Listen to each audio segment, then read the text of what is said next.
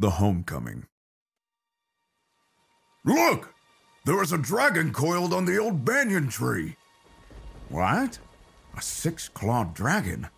So the rumors were true indeed. There is a dragon in this world. A loud flashing thunder almost tore open the sky on the dark, rainy night. An injured dragon befell from heaven to earth.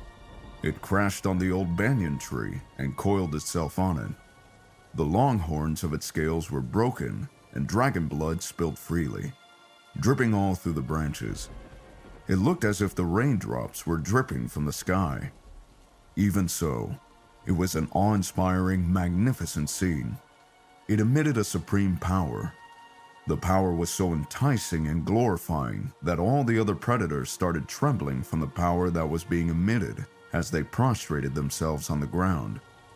A few neighboring senior citizens were scared out of their wits, and who wouldn't be? They immediately knelt before the powerful entity, bowing their heads in respect.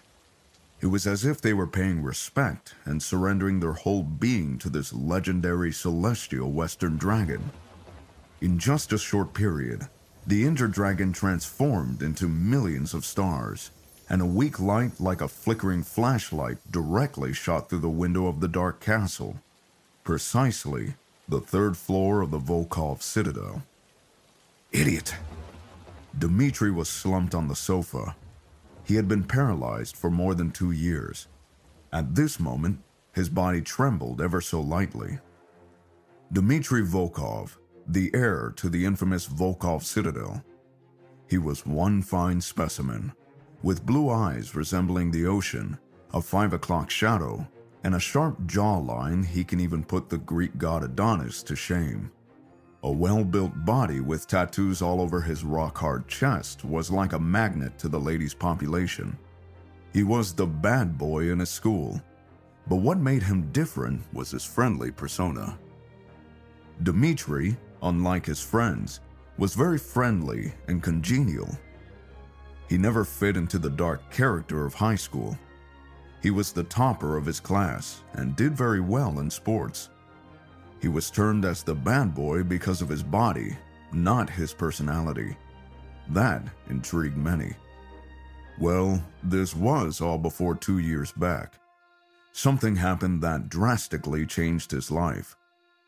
Dmitri can never forget that dark day. It was a Sunday afternoon when Dmitri was returning home after giving his entrance exams. He was taking a ride on his favorite Aston Martin, DBS Superleggera, a beautiful customized gray beast. Dmitri had a passion for beautiful things, and this beast was at the top of his possession. It was raining cats and dogs that day. He was behind the driver's wheel. Dmitri never let anyone drive his cars, and this one he never even let his servants touch. He took care of it like a baby. He even called it a baby. Even after all this, he was a responsible driver.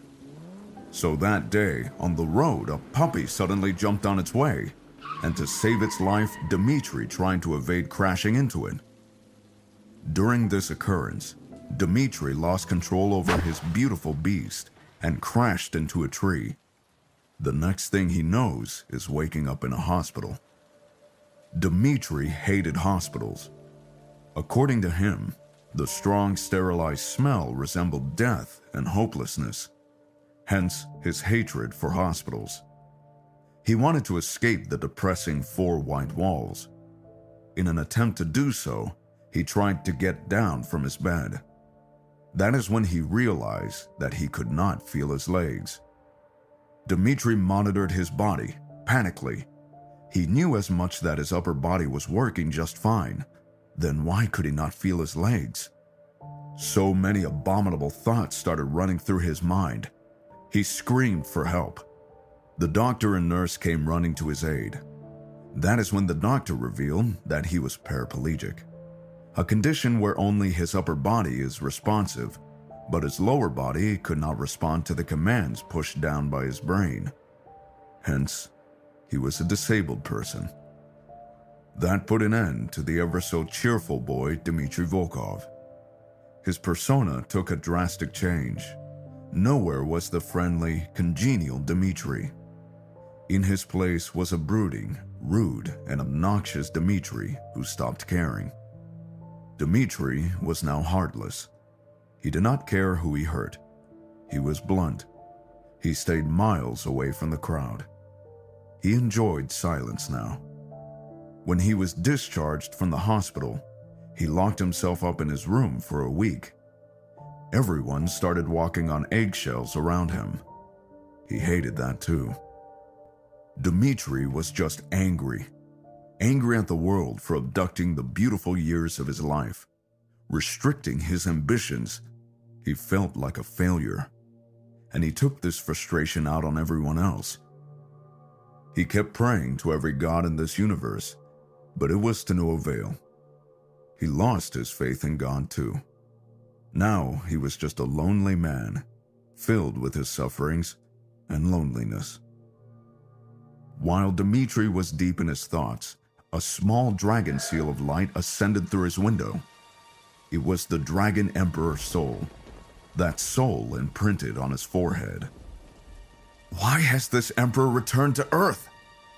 This frail body what is the use of this disabled body to this supreme emperor?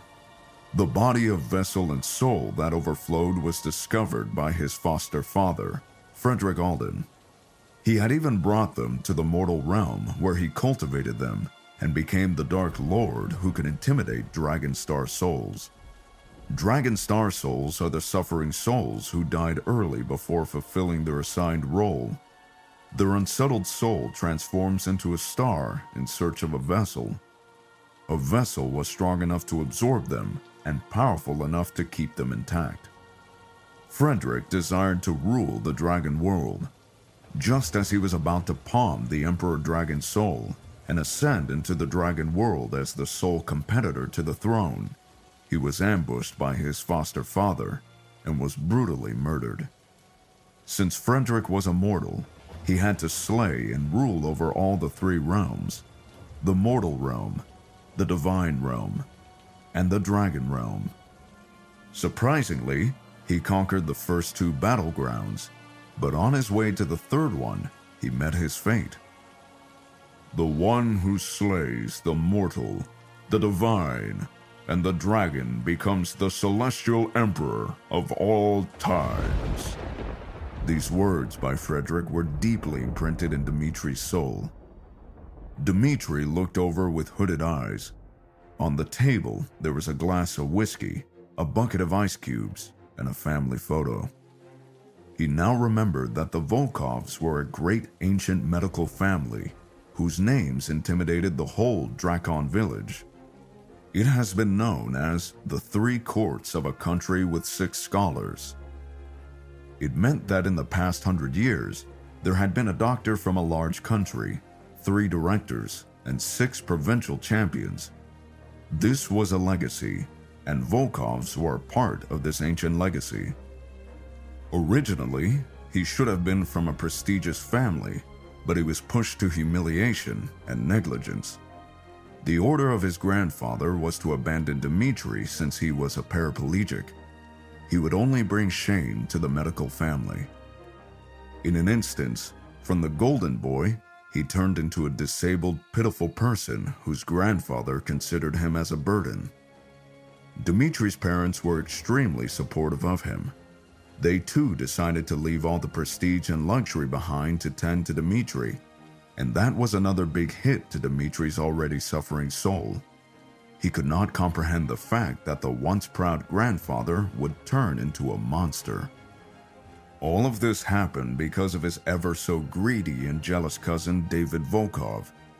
He was a greedy, manipulative piece of shit who easily glided through his grandfather's head as soon as Dmitri met with an accident.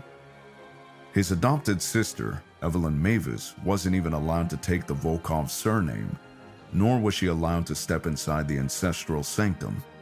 There were too many such humiliating incidents to count, and Dmitri lost the number a long time ago. At this moment, the sound of keys and the unlocking of a door interrupted Dmitri's thoughts. The door to the hall quickly opened, and a tall, petite girl entered and slammed the door. The girl looked to be around 18. She was wearing a pink dress. Puberty certainly hit her beautifully. Her brunette hair was long and lustrous. Eve. Dimitri's voice was hoarse. He coughed and in a louder voice called out, Eve! This petite and beautiful girl in front of him was his adopted sister, Evelyn Mavis, short for Eve. Shh, Dee, be quiet, or you won't get your share of candy, said Eve with a big smile on her face. That smile was like a tonic to Dimitri. He could not understand how this girl could brighten up his entire mood. Dimitri was waiting, waiting for his chance. He knew that his body was a vessel. He was waiting for the dragon soul to ascend and imprint in his body. Suddenly, a rugged, muscular voice permeated through the door. Hey, Evie baby, why are you running so fast? Are you afraid that I will eat you? Followed by a creepy laugh. Anton, if you don't leave the premises right now, I will be forced to call 911. Eve screamed. Why is that piece of shit Anton here? Frowned Dmitri. Anton was his sister in law's younger brother, but now they have been enemies for a long time. How can you do this? Do you not invite your guests to your house anymore? Of course, how would you know? You have never been given the proper etiquette. I have something to talk to you about. Now open this goddamn door, shouted Anton. Anton's voice was full of mockery and rage, with a hint of desperation. Desperation? Let's talk about it tomorrow. My family isn't home at the moment, and trust me, they won't be as polite to you, shouted Eve with a trembling voice. She was scared, scared to death by now. She was looking all around to find an escape, anything to get rid of Anton.